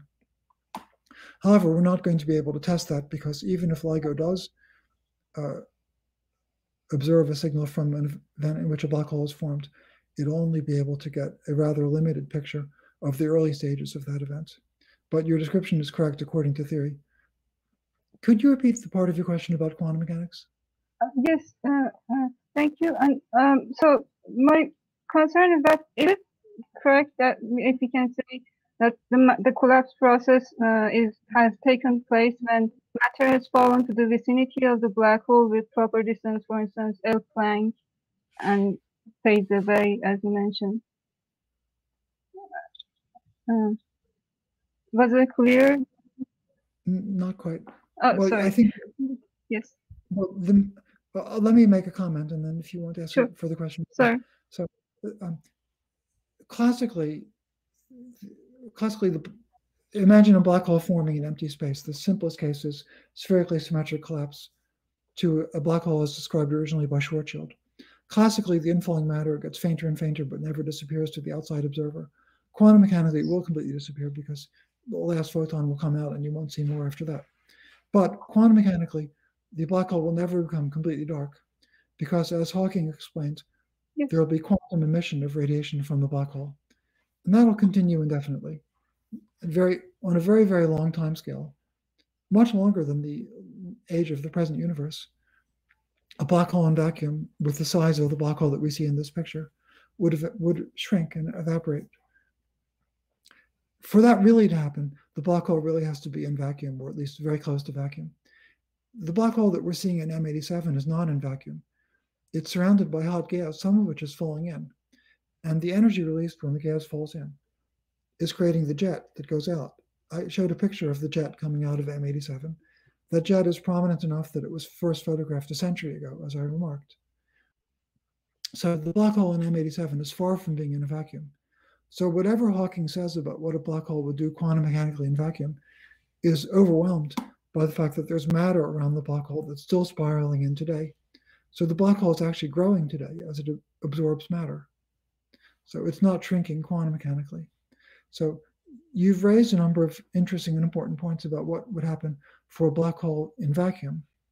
But in the real world, in the real world, there's never a perfect vacuum. There's starlight, there's the 21 centimeter radiation left over from the Big Bang. And for all these things, actually, then whatever are the fine details of what would happen for a black hole in vacuum. Yes. Um, uh, I probably haven't completely answered your question. So if there's a follow up, go ahead.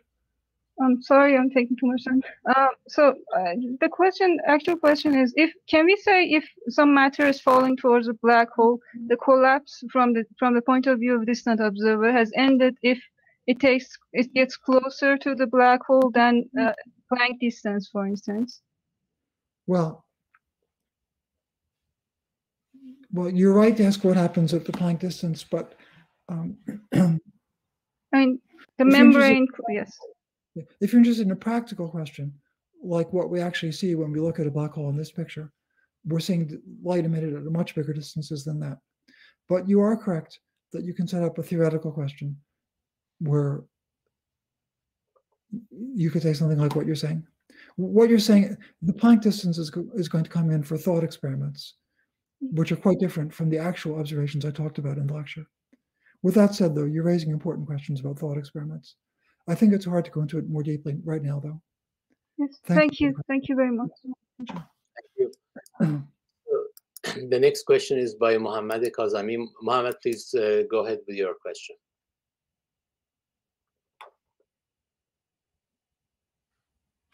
Can you hear me? Yes. Yes. Yes. At first, thank you for your great presentation. I have a question about black holes. I guess that they should get heavier as they swallow more mass Yes. But I think they don't last forever and evaporate after a long time. So what happens to the mass inside the black hole? Well, the, I kind of answered partly in answering the last question. Question. So a black hole in vacuum, according to Hawking, would emit radiation and lose mass at a very, very tiny rate. So for the black hole that's pictured here in M87, the time for it to shrink by emitting Hawking radiation, if it was in vacuum, would be much longer than the age of the present universe. Much, much longer. I don't have the number in my head, but many orders of magnitude longer. How However, this black hole is not in vacuum. Uh, in the real world, it's very hard to get at such a perfect vacuum that Hawking's prediction is applicable. This black hole is surrounded by accreting matter.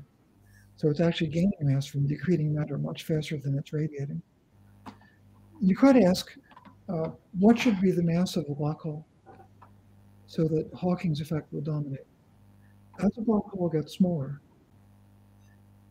its Hawking process becomes faster. It emits radiation at a higher temperature, according to Hawking. And for a sufficiently small black hole,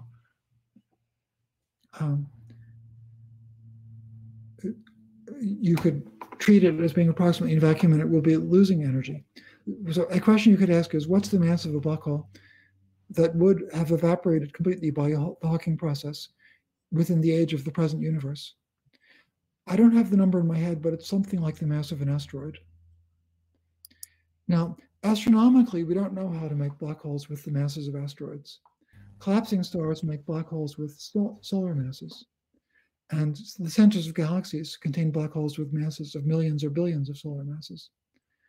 As far as we know, there aren't any black holes in the real universe with masses less than a solar mass. But there could be. For example, they could have been created in the Big Bang.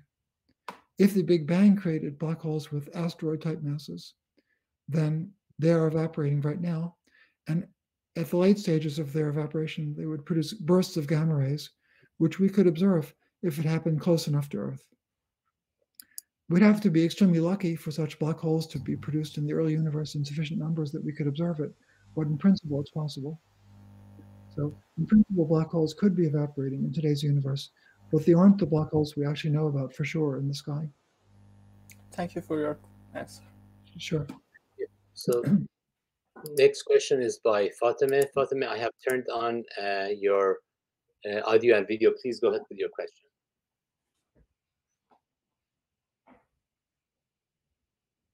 Uh, we can't hear you, Fatima. Can you? There's some problem with the audio. We can't hear you. You probably need to unmute.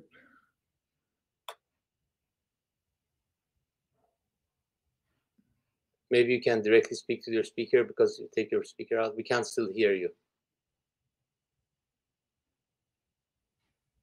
Okay, so maybe maybe you can try to fix it while we go to the next question and then we come back to you. How about that? Okay. Uh, so the next question then would be by uh, Mohammad Bakhshande. Mohammad, please go ahead with your question.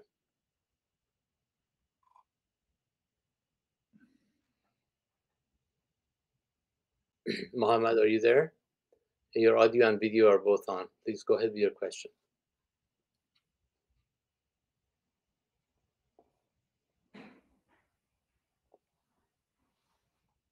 I, we can't hear you. Uh, can you hear me now? Yes. Okay, now we can. Um, uh, first of all, thank you, Mr. Witten, for the great uh, speech you had. I wanted to ask that Mhm. um, uh, what does it mean when we say uh, a uh, black hole starts to uh, ev- evaporate? What does it mean?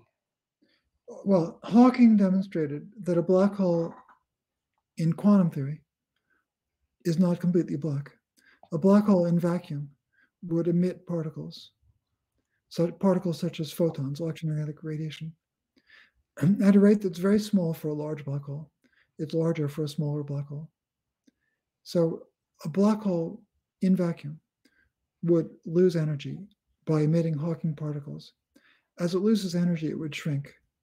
This process where a black hole shrinks, losing energy and mass, was called evaporation by Hawking. So people call it black hole evaporation. It's a theoretical process that certainly hasn't been observed. and it's very hard to observe because for black, as I said in a previous answer, for black holes of realistic astronomical masses, it's a very, very tiny effect. To make it observable, you could dream that there are primordial black holes,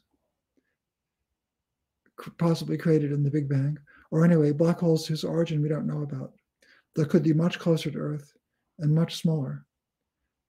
And then futuristically, or even in the near future, if we were very lucky, it's conceivable we could observe the Hawking effect.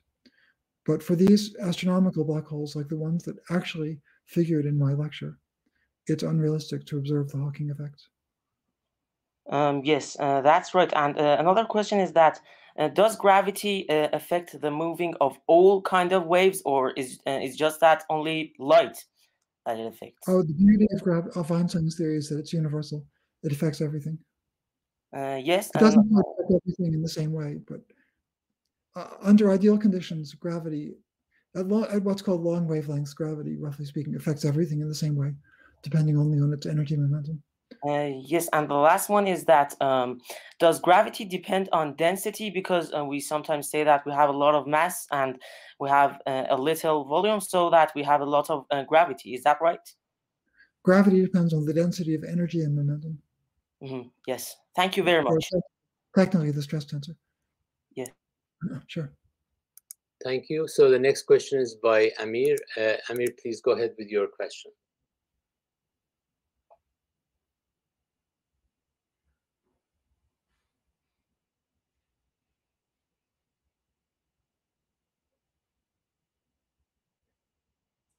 We cannot hear you, Amir. Uh, can you hear me? Yeah. Yes, we can hear you now. Perfect. Uh, sorry, I'm following with my mobile phone and uh, simultaneously in my laptop. I'm on the lap. Can you hear me? Uh, Perfect. Uh, sorry, I'm following with my mobile phone. I can see my. Simultaneously in my laptop. I'm on the lap. So let me ask my question uh, very fast because I see the feedback of my sound.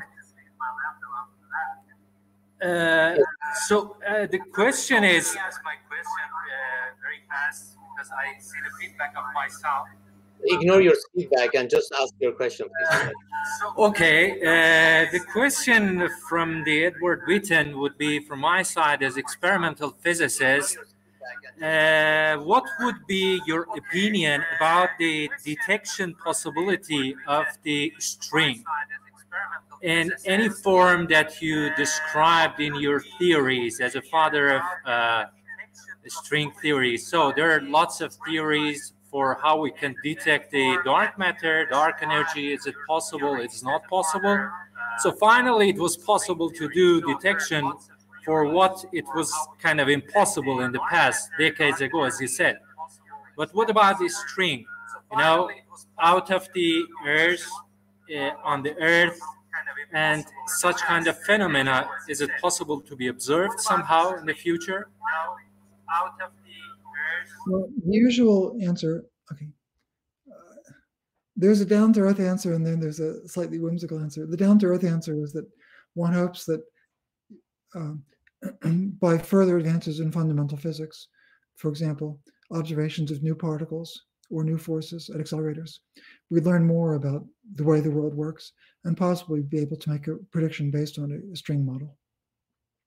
But I want to give you the other answer just for fun, which is that if you're an optimist and the ability to do this depends on the de details of the string model, it's conceivable to observe a string in the sky as a cosmic string, because in some string compactifications, the strings that I study uh, come in all sizes as stable objects, and there could be a large one created in the Big Bang that you'd observe in the sky as a as a cosmic string, possibly as a source of gravitational waves, or directly imaging it because it would deflect, deflect the light behind it.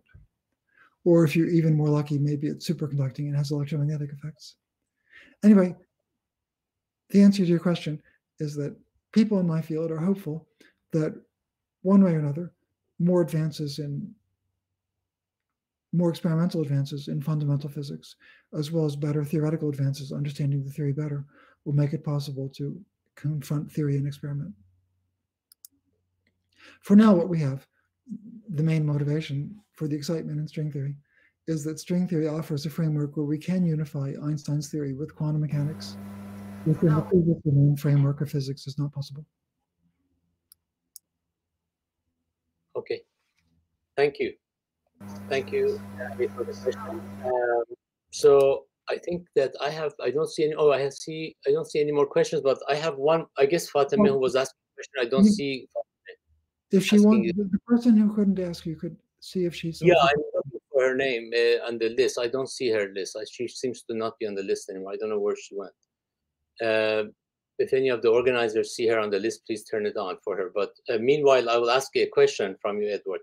So, uh, I mean, people uh, usually are scared, some of them, about black holes being nearby. And uh, first of all, what is your comment on that? And secondly, I know that you recently wrote a paper about black holes, which are not, which may be not too far away from us. If you could comment on those, that'd be great. Yeah, well, that paper was a little bit fun, but it was um, something that's not too likely to pan out. But the background is the following. First of all, in the last 20 years or so, um, okay, okay, you probably all know about the planet Pluto, which is about 5 billion kilometers from the sun, or at least it was traditionally called a planet. Nowadays, Pluto is regarded as a dwarf planet, but it's the first of a large collection of small bodies in the outer solar system, making up what's called the Kuiper belt. By now, dozens of these bodies have been found. Some of the others are almost as big as Pluto. And the bodies found in the Kuiper belt, there's an asymmetry in their distribution, which is a little bit puzzling. It might be a statistical fluke. It also might be a selection effect because it's easier to search for Kuiper belt. For these Kuiper belt objects are very faint. It's easier to search for them in some directions in the sky than others. So an asymmetry in the distribution of these bodies could come because it's easier to find them where it's easier to look. It also could come because of chance. But maybe there's a maybe it's a real effect and there's a real reason for it. It's been suggested by um, I think Michael Brown and others at Caltech that there's a body with roughly five to ten times the mass of the Earth at a distance of about four or five hundred astronomical units from the Sun. An astronomical unit is the distance of the Earth from the Sun, roughly 10 to the 8 kilometers. So this body is supposed to be 400 times as far from the Sun as the Earth. And anyway, if you assume the existence of such a body way out there in the Kuiper belt, its gravitational influence affecting the other Kuiper belt objects would lead to a clustering of the orbits that's somewhat like what's observed. So they've claimed there's some evidence for what they call Planet Nine. Personally, I think that Pluto should should have been grandfathered in and should still be called a planet. So I'd have called it Planet X or Planet 10, but they call it Planet Nine. Now it hasn't been found.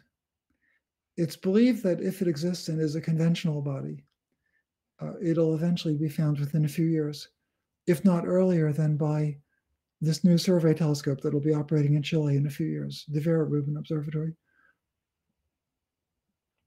But anyway, for, for now, there's some evidence that this body exists and it hasn't been found. Well, if it really exists, okay, suppose it suppose the evidence, indirect evidence for it becomes stronger as more Kuiper belt objects are found, but we don't see it with our telescopes. What's going on? Well, it was pointed out by a couple of young physicists, and my, I'm forgetful in the names, I'm afraid. Sorry. I wasn't expecting this to come up today, so I didn't brush up Unwin is one author. I don't remember the other right now. A couple young physicists suggested that Planet Nine exists, but it's a primordial black hole. So, if that's true, could we observe it? Well, the search is going on for Planet Nine, couldn't find it.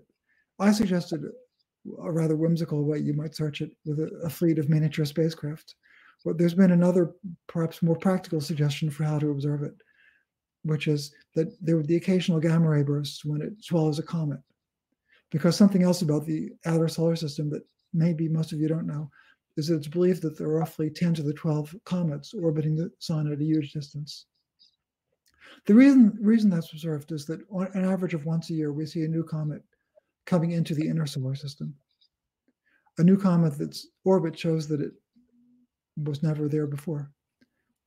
And it's believed what's happening is that there's a huge reservoir of 10 to the 12 comets in the outer solar system. Every year, by chance, one of them is scattered inward and we see it. So occasionally, Planet Nine, if it's a black hole, would swallow one of these comets and emit a gamma ray burst. Anyway, it's a fascinating. Well, okay. I tend to be conservative on such things, so my guess is that Planet Nine doesn't exist. If it does exist, it's probably made from ordinary matter.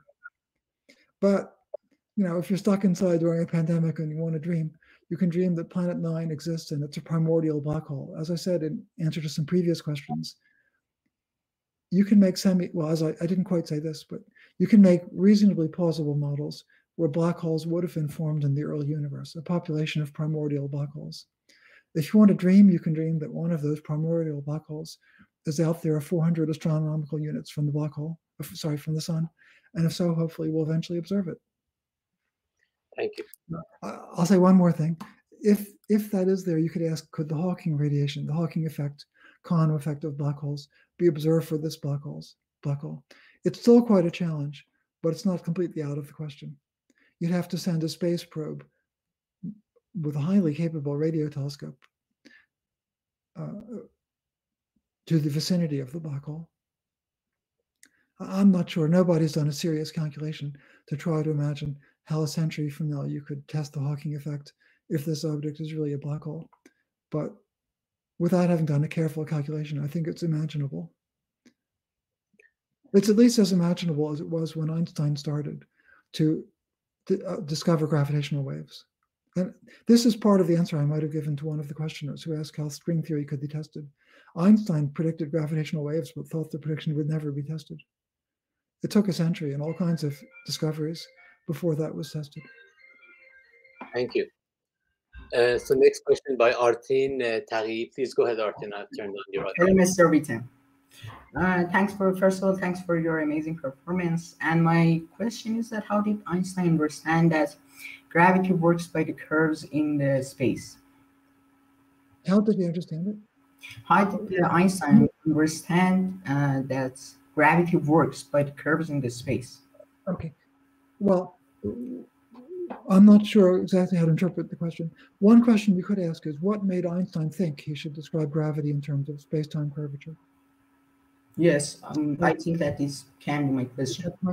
Okay, so Galileo had discovered that objects of different mass fall toward the sun, sorry, fall in a gravitational field at the same rate. Okay. Famously, he's supposed to have dropped objects of different mass from the top of the Leaning Tower of Pisa, demonstrating that they fall, arrive on the Earth at the same time.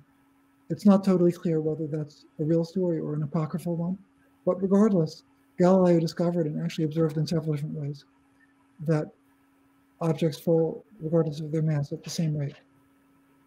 Okay. For centuries after Einstein, there was no deeper explanation of this fact. Newton incorporated it in his theory, but did not have a deeper explanation.